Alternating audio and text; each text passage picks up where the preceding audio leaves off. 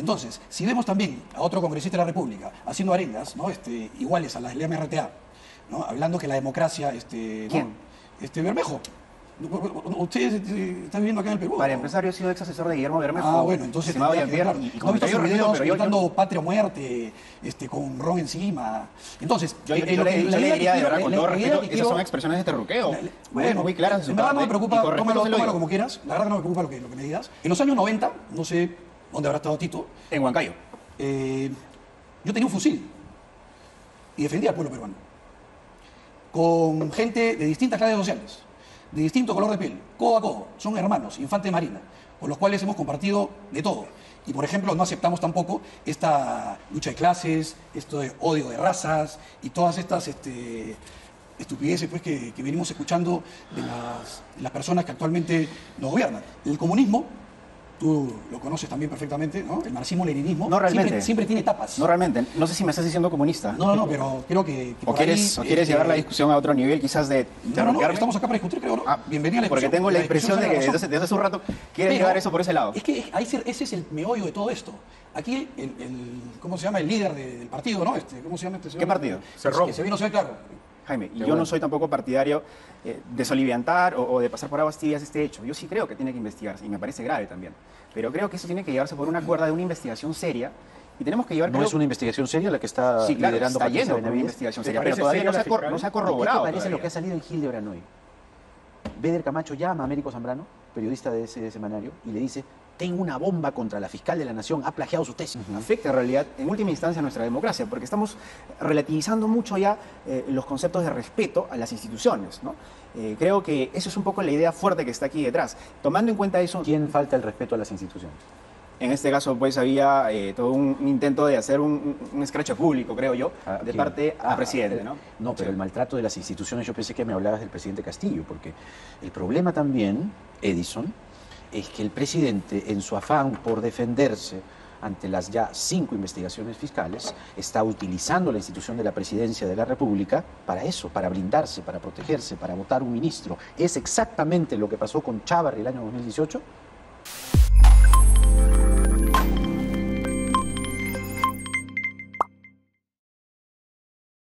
El abogado izquierdista Edison Tito Peralta, más conocido como Tito Huanca, en diálogo con Jaime Chincha defendió la permanencia de Héctor Béjar como canciller. Señaló que desde que el exministro de Relaciones Exteriores ya no está en el gabinete ministerial, se ha desarrollado una crisis en el gobierno de Pedro Castillo. Manifestó que el mandatario debe y debió seguir una ideología de izquierda para traer buenos resultados en su gestión. Consideró que el presidente aún está a tiempo de regresar a las banderas de izquierda con las que inició su gestión con el fin de desarrollar un cambio profundo. Eh, Castillo estaba con ex este, terroristas que habían cumplido condena. Entonces, Iber Maraví fue ministro de Trabajo, lo que, pero lo que no pasa es que hay, cadenas de televisión que de repente no, no Eh, la ven todos, ¿no? Discúlpame que te interrumpa, Pero, pero, un segundito. un poco de terruqueo, De- creo, después, detrás. ¿no? después- no, no, no, no hay terruqueo. Entonces, si vemos también a otro congresista de la República haciendo arengas, ¿no? Este, iguales a las del MRTA, ¿no? Hablando que la democracia, este, ¿no? ¿Quién? Este, Bermejo. Ustedes este, están viviendo acá en el Perú. Para ¿no? empezar, yo he sido ex asesor de Guillermo Bermejo. Ah, bueno, entonces Jean-Pierre, ver, y- y ¿no sus reunido, videos pero yo- gritando yo- patria o muerte, este, con ron encima? Entonces, Yo, yo- eh, yo le, que- yo la le que diría de verdad, con todo respeto, que esas quiero- son expresiones de terruqueo. la- bueno, muy claras en verdad no me preocupa, tómalo, se lo tómalo como quieras, la verdad no me preocupa lo que, lo que me digas, pero Yo creo que así sí le como debe yo, preocupar, porque todos yendo al tema, de, esta, forma, que no solamente yo, la tenemos miles de, de pido la palabra, disculpe. Es falso que Pedro Castillo se haya reunido con Marta Guatay, como señaló Viral. Fue un fake news que lo lanzó Rafael López Aliaga, que le gustan mucho las fake news. Él dijo eso, lo que usted está Bueno, diciendo. este, si vamos a fue sometido más a, propio. Fue sometido Pero a el un ministro fact- Béjar. Perdón, ¿puedo terminar? Eh, esto fue un fact-checking de Perú Check, hizo la corroboración y es falso. Podemos buscar uno que es, creo, más este, nítido, Béjar, ¿no? Inclusive inventó una, una, este, una, hizo un dictado prácticamente de que la Marina de Guerra, ¿no? En inventó complot con la CIA, había creado Sendero Luminoso. Entonces, y, y podemos de repente dar ejemplos. Iber pero a- a Maraví fue voy- con- más conspicuo miembro de este gobierno que ha sido vinculado a Sendero Luminoso, pero no fue sentenciado. Hay que, hay que Yo creo valorar que la verdad. estamos rebajando, estamos rebajando el estándar de lo que decimos en este programa a un nivel de Ahora- teorías yo- conspirativas. me han Ahora, preguntado. Acabo de tú el- Me han. ¿por qué esa oposición prácticamente natural de muchas este, eh, de las familias militares Porque vemos eso. Hemos visto ese contubernio, esa cercanía a esta gente que de una u otra forma ha mostrado, por lo pronto, alguna este, ligereza para hablar de los atropellos, genocidios y matanzas que en su momento se dieron. Yo no veo que se haga un deslinde real con Sendero Luminoso, como el MRTA, y, y mucho menos pues de repente a tu ex asesorado, el señor Bermejo, ¿no? que, que más bien tiende a defenderlos. A ver, vamos Yo más a bien diría que tenemos que deslindar de Vladimiro Montesinos, ¿no? Pero creo que esa sería una discusión aparte. Vladimiro Montesinos está preso. Yo sí le diría, preso, yo sí, le- acá. sí, qué bien preso que está, realmente. Pero yo sí lo que le diría con, con mucho respeto, este, Jean-Pierre, es que estamos un poco este, viendo que usted tiene detrás eh, toda esa carga de molestia seguramente contra el gobierno. Y en ese sentido, regresando al tema de fondo, era válido que hoy los ex comandos de Chavín de Huántar que eh, eh, tienen esta carga, digamos, estén presentes en un desfile cívico de tan alta importancia para los símbolos patrios y eventualmente, potencialmente, puedan afectar la imagen del presidente. Es decir, ustedes tienen una Pero carga, ¿cuál y es válido, pero llevar eso a una, a una arena de un desfile oficial, un desfile militar, creo que eso, Jean-Pierre, no me, no, me, no me vas a dejar mentir, creo que todos, este, todo ¿Cuál es el militar, temor entonces? ¿Que, que hicieran un desplante en, en pleno desfile? ¿A eso te creo que ese es el riesgo pasó que el año pasado, ¿no? Claro, creo que ¿Qué ese es el riesgo año que El año pasado lo que ocurrió fue que se retiraron de una ceremonia. Ah, pero no era el desfile, ¿de acuerdo? Es verdad No, que era una ceremonia, un desplante. Es- Pero es yo creo que guardamos las formas dentro de todo, ¿no? Pero el desplante también fue no guardar la forma. Pero ningún desplante, porque simplemente Se retiraron. se retira. Oye, se Yo me retiré es particularmente, pues. no se retiraron todos. Oye, El se de retirado. actividad está sometido pues, a otras este, pautas. Si usted ha marchado, sin, se sin retiraba. embargo, Marchaban. yo fui porque me siento dueño de esa operación. Si usted marchaba la se operación. Entonces, el desplante no es tal. Correcto. El desplante hubiera sido gritar improperios, ¿no? Este, Asumiendo que no es un o- o desplante. hacer un escándalo. Si usted participaba el día de hoy, usted se retiraba hoy día, si usted tenía la oportunidad de presentarse ante nuestro presidente. Permítame una duda. ¿po- Eso ¿Podrían marchar los retirados? Siempre hemos marchado. Sí, claro. se ok. han marchado siempre. Claro, pero No, no, que no repito, sabía. el año pasado se retiraron de una Sí, sí, sí, no, ceremonia. claro, y ceremonia. un desplante es un dicho o hecho propio de la persona que se comporta con desprecio, insolencia o arrogancia. Y el ejemplo es, le hizo el desplante de no saludarla. Desplanta, un desplante es me retiro. Ya, entonces... Yo Pero, pero, pero, pero ojo, ojo, Ojo, porque, ah, por- ojo, porque en verdad este, a nosotros nos educan, A todos. ¿no? ¿no? todos, porque hay cosas, este, hay, hay gente que escribe, este, ¿no? Con- No, pero educación recibimos todos. este, ¿no? insultan por las redes, Ah, sí, en uf, fin, eso también creo que no necesariamente hay que estar de frente para, para asumirlo. Pero en esa ceremonia particularmente ese desplante, al cual tiene tanto miedo el, el presidente, lo único que hicimos es esperar el momento adecuado sin interrumpir la ceremonia y nos retiramos. ¿A dónde? A buen recaudo en nuestra réplica. Nuestra réplica. De las Fuerzas Armadas. No del presidente, no del gobierno de turno. Es nuestra. Tenemos derecho, tenemos autoridad ¿no? para estar ahí. Y compartir no solamente con nuestros camaradas de armas, sino con todo el pueblo. En los años 90, no sé dónde habrá estado Tito, En Huancayo. eh, yo tenía un fusil y defendía al pueblo peruano. Con gente de distintas clases sociales, de distinto color de piel, codo a codo, son hermanos, infante de marina, con los cuales hemos compartido de todo. Y por ejemplo, no aceptamos tampoco esta lucha de clases, esto de odio de razas y todas estas este, estupideces pues, que, que venimos escuchando de las, de las personas que actualmente nos gobiernan. Pero no es tan bien o no fue tan bien, con esto te doy el, el- el turno de la palabra, esto de lucha de razas, ¿no? O enfrentamiento entre razas, al principio lo sufrió Castillo. Al Correcto. principio, no, no el Castillo de hoy investigado con cinco investigaciones, no, no, me refiero al comienzo, ¿no? Sí, claro, bueno. Si podemos este, hacer una remembranza de todo lo que ha habido Pedro Castillo a lo largo de este año, pues desde su ascenso, nada más las expresiones de, de- de racismo, claro, que, que se podía ver de Mari Carmen Alba, por ejemplo, ¿no? Eh, a lo largo del tiempo, en realidad, ha sufrido toda una serie de ataques. Y yo creo que lo que él representa, ¿no? Un hombre andino, un hombre de campo, eh, está un poco también en el escenario, ¿no? Y esto no es una victimización ni nada por el estilo, como se dice. Es un factor que yo sí creo que pesa eh, en la conciencia y en la mente eh, de cierto sector de la derecha que no termina de asumir eso, ¿no? Eso podría decirlo desde un punto de vista. eh, pero otro punto que también quisiera eh, mencionar es que más allá de todo este tema de cargas que, que pueda tener Jean-Pierre y, que- y el, y el sector que usted representa, y un sector de la Yo no derecha a general, a- en general, a lo que yo sí quisiera ir es que, ¿qué hacemos polarizando tanto el país? ¿Sí? Esa es la gran pregunta. No deberíamos más ¿Quién bien... empezó? no de- ¿A quién empezó? Buscamos culpables y nos dedicamos a hacer una actividad punitiva. O sea, creo que más bien lo que nos debería llevar a todo esto es un ejercicio de cómo bajamos las aguas. ¿no? O sea, de alguna manera, fundado o no fundado, cada parte tiene ciertas demandas, tiene ciertos enconos, pe- pero sí creo que el Perú necesita realmente bajar eso, ¿no? Y necesitamos llevar este, este país a otro escenario. Ahora, Que ustedes dos se sienten acá es un avance en esa línea, mi estimado Edison. De eso se trata el programa. Y de eso se trata el programa. Eh, Y lo saludo. en mi opinión, el que crea que el comunismo tiene buenas intenciones, tiene un programa para que el país progrese, está totalmente equivocado. Eh, me extrañó escucharlo ayer el presidente en su discurso, que prácticamente con la constitución de 1993 ha logrado pues estos avances económicos y de alguna manera hay una contradicción contra lo que quiere hacer de cerrar el Congreso, crear una nueva constitución, que es la perorata, que este, sus, sus este, allegados, eh, ministros repiten acaloradamente en todas las, las plazas del, del Perú. Y, bueno, con el debido respeto, yo creo que eso es falso, Jean-Pierre, porque yo no he visto Mira los que, consejos de ministros. yo no he visto que el presidente pide el cierre del Congreso. O sea, Pero Chero lo tendrá en un críticas. momento y después se tuvo que echar para atrás. Yo no sé si textualmente. ¿no? Bueno, yo no sé si Textualmente. textualmente lo dijo. Textualmente. Creo que la expresión fue. hay- hay- habría que, que verla. Pero, pero no seamos sí. sinceros, pues, Edison. O sea, sabemos que es una. Así como hace me- meses venimos hablando de vacancia, también está el, el fantasma del cierre del Congreso, incluso Pero- en su versión inconstitucional, que es la que se entendió Correcto, correcto, correcto. Después se tuvieron que echar para atrás. Hay dos cosas ahí. como una vacancia también. Ah, No, no necesariamente. Hay dos Difiero. cosas ahí. Eh, pero el Chero, la declaración a la que te refieres, es entrevistado por Lucar. Y Lucar le dice, ustedes están pensando en adelantar elecciones o en el cierre del Congreso. O sea, le deja dos posibilidades. Y Chero, no sé ahí si fue ingenuidad o fue malicia, no es capaz de aclarar y decir, por si acaso lo del cierre no. Esto sí puede ser. O en todo Entonces, caso podría ser- Dejó la duda abierta. Y podría decir en todo caso, no vamos a hacer nada inconstitucional. El cierre del Congreso tiene un mecanismo constitucional y si la oposición nos lleva a eso, lo usaremos. Entonces ahí no habría discusión. Sí, claro. Porque claro. a uno le puede gustar o no, pero las herramientas constitucionales son las herramientas constitucionales. Sí, totalmente de acuerdo. Incluyendo la vacancia, mi querido Edison. Que, que yo creo que no existen condiciones para eso. Bueno, esa es una discusión más otra política. más política, si quieres, pero, pero, pero desde el punto de vista constitucional. ¿no? Y además has traído tu constitución, Sí, claro. que es la constitución con la que yo estudié, la de Marcial Rubio. Prologada por César Landa, más bien. Actual Este, ministro de Relaciones Exteriores.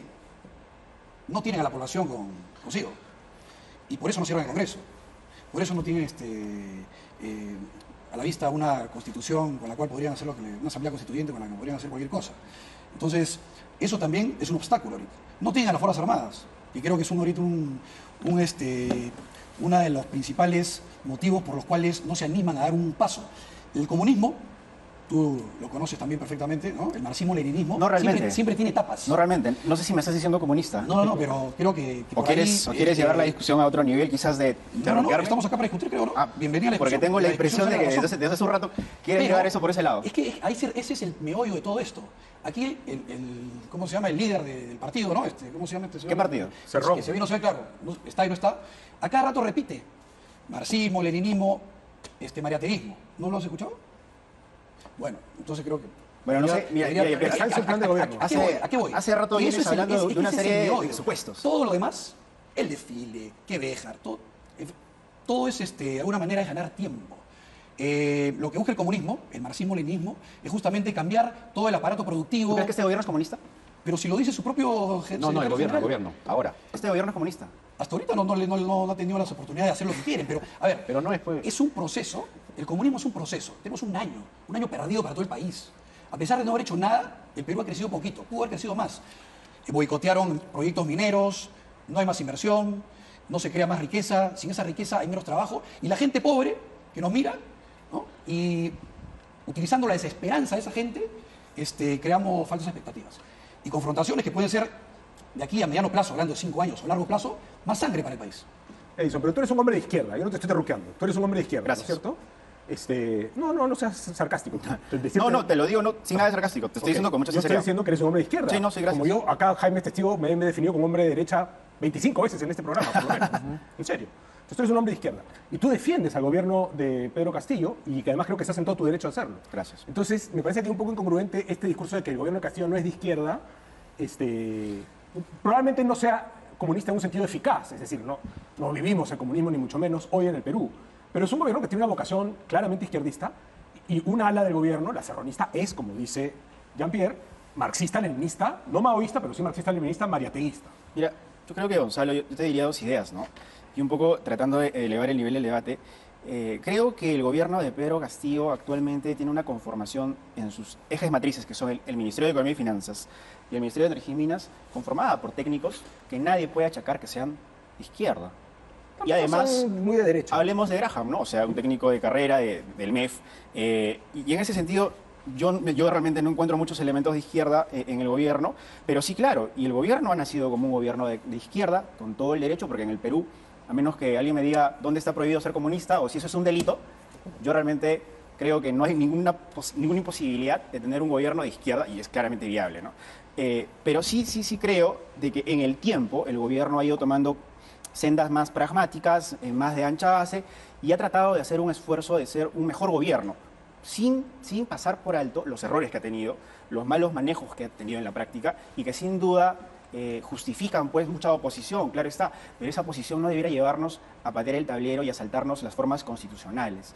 Yo creo que eso es un- una segunda idea que, que quisiera dejar implantada, ¿no? ¿Tú serías de la idea de un golpe de Estado? No, absolutamente. ¿Y por qué el año pasado los militares en retiro promovían esa figura? No tenemos la capacidad de hacerlo. ¿Pero por qué, lo, por qué decirlo? Eh, de repente algunos pues este, más este, confrontacionales que otros están también en su justo derecho a Y es reclamar. otra generación. Pero nadie ha sacado un Pero- arma, nadie ha sacado un arma, este, y no estamos en la capacidad de hacerlo, realmente. ¿A qué te Eh, refieres? ¿A una cosa operativa? Sí, golpe de Estado, ¿no? Golpe de Estado No, no, armas. eh, no, a la- Las Fuerzas no, no, Armadas, golpe los, retirados, no estamos en capacidad de hacer ningún golpe de Estado. No, decía por el tenor de los comunicados, que a veces, el año pasado principalmente... algunos bien altisonantes, hay que eh, reconocerlo. espérame, pues, espérame. Sí, claro. Hablaba de eso, así, golpe de Estado. Igual, todas las personas, todas las asociaciones están en su justo derecho ¿no? de expresarse ¿Pero por un golpe de Estado? Este, pero es que en realidad también es como de repente pues, este, el señor Bermejo, ¿no? El que quiere asamblea constituyente, hace rato. Como yo. También, igual. Y también pueden gritarlo y ojalá que nadie les haga caso nunca. Y no se lleve a cabo.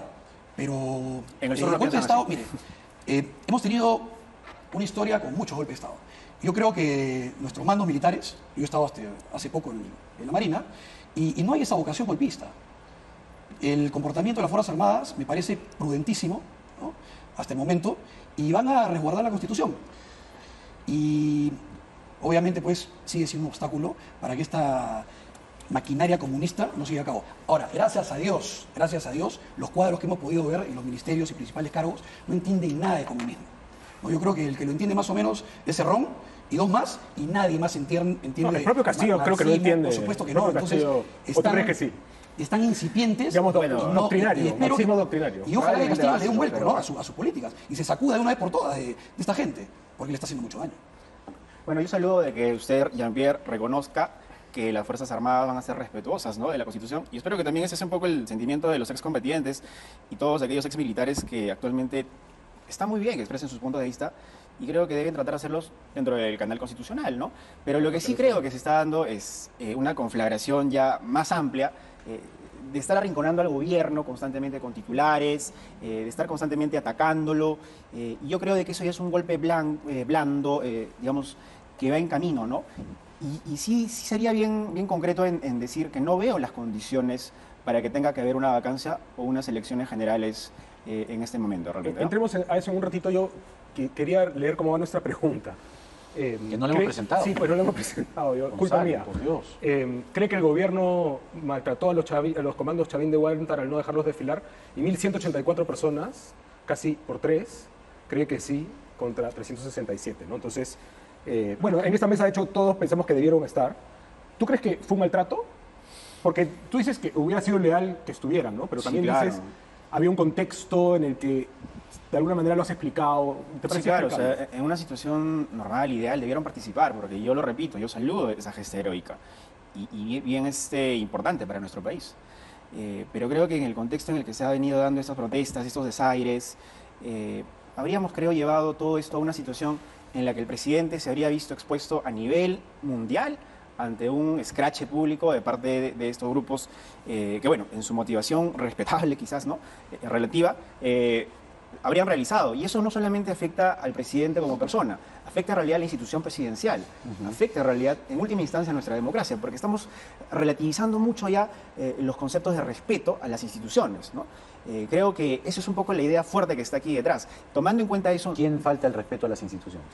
En este caso, pues había eh, todo un, intento de hacer un, un, escrache público, creo yo, ¿A de quién? parte al Ah, presidente. eh, ¿no? No, pero Sí. el maltrato de las instituciones, yo pensé que me hablabas del presidente Castillo, porque el problema también, Edison, es que el presidente, en su afán por defenderse ante las ya cinco investigaciones fiscales, está utilizando la institución de la presidencia de la República para eso, para blindarse, para protegerse, para votar un ministro. ¿Es exactamente lo que pasó con Chávarri el año 2018? En la institución del Ministerio Público. Es decir, Chávarri deslacra la oficina, saca las pruebas que lo comprometían a él, a Keiko Fujimori. La gente se puso las zapatillas y se fue al centro de Lima en la noche de Año Nuevo. Eh, pero, pero sí creo de que estamos llevando esto a una salida inevitable de que todos tienen que irse.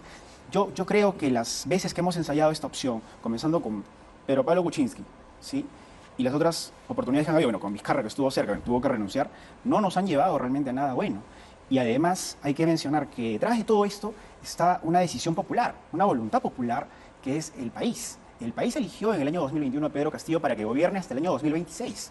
Si nosotros comenzamos a cambiar esto y empezamos a instaurar una costumbre de que cada vez que hay indicios, cada vez que hay un cerco fiscal o judicial, por más fuerte que este sea, vamos a cambiar al presidente, No le esta- cerco. estaríamos rebajando un poco el, estándar. ¿no problema crees? es, desde tu ángulo pueda que tenga cierta lógica, pero no está completo el, el panorama. El problema es que quienes están comenzando a hablar no son cualquiera. Quien está comenzando a hablar es Bruno Pacheco, amigo de Pedro Castillo, y tú lo sabes bien. ¿Qué ¿no? Es que apareció que primero que el señor Pedro Castillo lo protegió, que mandó a Beder Camacho el 12 de enero a la puerta trasera del Congreso, después de su presentación ante la Comisión de Fiscalización, Beder Camacho le dijo, tienes una llamada aquí, contesta. Sí, soy Pedro, Cast- soy Pedro, no te preocupes, Beder te va a dar protección en Guaral y después en el centro de Lima, no te preocupes. Es gravísimo, se tiene que corroborar, ya sé que esa es la respuesta. Yo también la tengo. Pero ya la mención de Bruno Pacheco es grave. Ah, y viene Silva.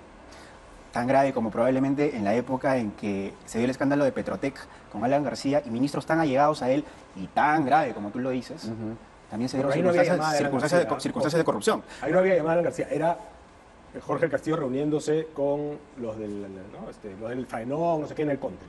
Pero no, no llegaba Alan García. Desconocemos si hubieron o no hubieron Acá- llamadas, acá, es verdad. De, de acuerdo con Jaime, que eso se tiene que corroborar. Claro, no, pero- Estamos hablando de la participación directa del presidente. Yo, yo no quiero relativizar la gravedad de lo que tú mencionas, este, Jaime, y yo bueno. no soy tampoco partidario eh, de soliviantar o, o de pasar por aguas tibias este hecho. Yo sí creo que tiene que investigarse y me parece grave también. Pero creo que eso tiene que llevarse por una cuerda de una investigación seria y tenemos que llevar... No creo- es una investigación seria la que está Sí, claro, liderando está yendo una investigación ¿Te seria, pero todavía no se, ha cor- fiscal? no se ha ¿Y ¿Qué te corroborado. parece todavía. lo que ha salido en Gil de Branoy? Beder Camacho llama a Américo Zambrano, periodista de ese semanario, y le dice, tengo una bomba contra la fiscal de la Nación, ha plagiado su tesis. Le manda un PDF, es un artículo de 13 páginas, no era la tesis, y Beder Camacho quería que salga justo el día en que Bruno Pacheco se iba a entregar. Ya sabía seguramente que Bruno Pacheco se iba a entregar. Un- una campaña orquestada desde Palacio de Gobierno contra la fiscal de la Nación. ¿No te parece grave? Bueno, pero fuera- sí he fuera de escuchado, que sí he estas escuchado. personas se pero, vayan ¿qué, tal, ¿Qué tal si respondo, Jean-Pierre? Solamente culmino la idea y, y, por favor, te, te doy la idea, te doy este, la palabra, discúlpame. palabra. Este, Jaime, yo sé que este ha sido un escándalo que se ha dado el día de hoy, tampoco quiero hacer de abogado de Pedro Castillo, pero sí creo que todos este tipo de estas, estas situaciones que se están dando eh, tienen que pasar, creo que, a un nivel de corroboración, no te estoy diciendo total, ¿sí? pero un nivel de corroboración mínimo, porque yo sé, yo sé que tú tienes en tu, en tu, en tu análisis ya un juicio de que son suficientes para Yo creer no que son lo eso. suficientemente graves. Yo no he dicho eso. Asumiendo que no lo has dicho Políticamente, políticamente No, porque quizás. es su amigo, pues. Yo sí creo que son políticamente Y- y- y suficientes. Beder- no, no penalmente, pero sí No, políticamente. Ahora, a nivel del terreno están político- confundiendo las cosas. Lo de Beder Camacho hoy en Hildebrand es un hecho concreto. Hay una llamada, está transcrita la llamada porque Américo grabó la llamada y hay una, o sea, lo que se entiende es una campaña desde Palacio contra la fiscal de la Nación. Está ahí, ¿no has leído el artículo? Léelo. Bueno, siempre suelo leer, PDF, suelo leer. Hildebrand todos los viernes, en especial a Orlando, Orlando Maceira Guillén, un gran escritor de Arequipa. Pero punto aparte. Démosle la palabra a aparte. Jean-Pierre, que quería intervenir. Tú no eres el abogado de estas personas, supongo, ¿no? Fuera de que se vayan presas o no, que se les demuestre o no, este, eso es coyuntural. Yo creo que hay que- hay que referirnos bien. Estamos hablando del presidente del país, Estos, ¿no? estos pobres, el pueblo sigue esperando trabajo, sigue esperando inversión. Esa inversión está paralizada este, y es la única forma de cambiar eso que tú quieres, ¿no? Las estructuras, ¿no? Sacar a la gente de la, de la- de la pobreza. ¿Quién no puede estar de acuerdo con eso? ¿no? Correcto. O sea, nadie puede estar este, en desacuerdo de sacar al Perú ¿no? y hacerlo progresar este, de manera real. La única manera es la inversión.